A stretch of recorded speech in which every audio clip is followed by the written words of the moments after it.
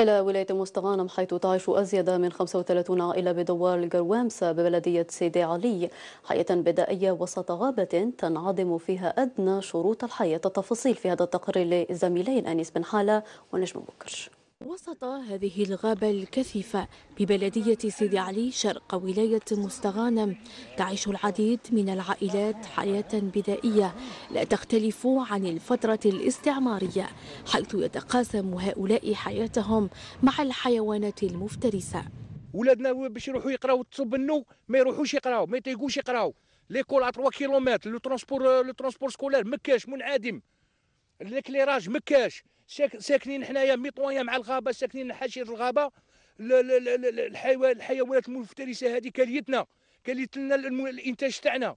الحلوف الديب من الجهة. ما دارينا protection ما دارينا الأمن. رئيس بلدية سيدي علي له ما يقول عن الموضوع.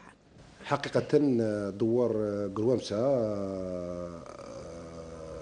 دوار داخل في الانشغالات والاهتمامات تاع المجلس الشعبي البلدي حيث هذا الدوار استفاد من مشروع في إطار التنمية الريفية متعلقة بفتح المسالك. وكان فيه مشروع لم يتجسد على أرض الواقع لأن المبلغ المالي كان كان غير كافي لذا المشروع قد جمد. لتبقى البراءة والمواطنين ينتظرون التفاتة السلطات لإنقاذ وضعيتهم والحفاظ على طبيعة المنطقة وتفادي النزوح الريفي نحو المدينة.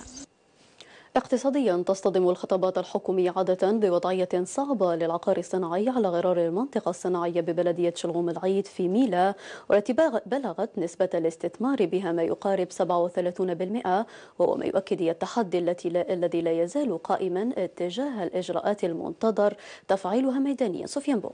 على مستوى المنطقة الصناعية ببلدية شلغوم العيد بولاية ميلا هو السمة البارزة التي تؤكدها لغة الأرقام الرسمية. والتي تكشف عن اشتغال المنطقة بنسبة 37% فقط. حوالي 37% من هذه القطع تشتغل. حوالي 25% قطع فارغة. دي تيرا نو والباقي هي مشاريع في قيد الإنشاء ومشاريع متوقفة. من خلال هذه الأرقام نستنتج أن المنطقة الصناعية في الحقيقة لا تشتغل تماما بالصفة المطلوبة منها.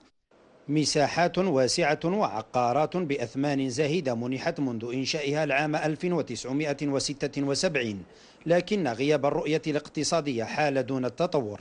عندنا مصطلح يسمى دراسة الجدوى الاقتصادية يعني أي مشروع يجب أن يخضع لدراسة جدوى اقتصادية حتى تتثبت منه الجهات المعنية التي ستعطي الدعم لهذا المستثمر أن هذا النشاط قابل للتفعيل.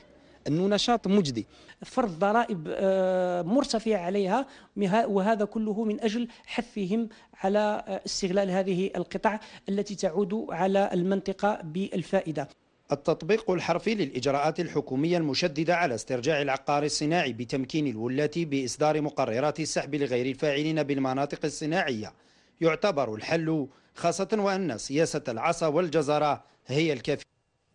إلى ولاية البيض دعا علماء ومشايخ الزوايا إلى نبذ الفتنة والوقوف صف واحد لحماية الجزائر من الأعداء الذين يتربصون بها من الداخل والخارج. التفاصيل في هذا التقرير لنور الدين الرحماني. الجزائر غالية وحمايتها من كل دعوات الفتن والفوضى واجب الجميع. وعلماء ودعاة وأعيان ولاية البيض واعون بالمسؤولية والأمن الفكري لأبناء الجزائر يتقاسمه الجميع. تحدي اقتصادي صحيح. تحدي معيشة نعم. ولكن التحدي الأمني خاصة وأن الجزائريين عانوا من خلال تلك العشرية السوداء في فترة التسعينات عانوا من هذا الأمر. وبالتالي الآن موضوع الأمن والاستقرار وكذا هذا يعتبر من الأولويات عند جميع الجزائريين. والآن كل مستوعب لهذه الحقيقة. الجزائر لها من العلماء والدعاة المنتشرين عبر عديد الزوايا والمدارس الدينية ما يكفي ليكون صمام الأمان. فمؤسسة المسجد هذه أتت اليوم لتذكر بنفسها وتبين أن الدولة الجزائرية ما فتئت تؤسس للعمل الخيري وتؤسس لأمنها واقتصادها وغير ذلك. الوحدة الفكرية والدينية للجزائريين كانت ولا زالت وستظل صمام الأمان لوطن صامد بفضل أبنائه الخير.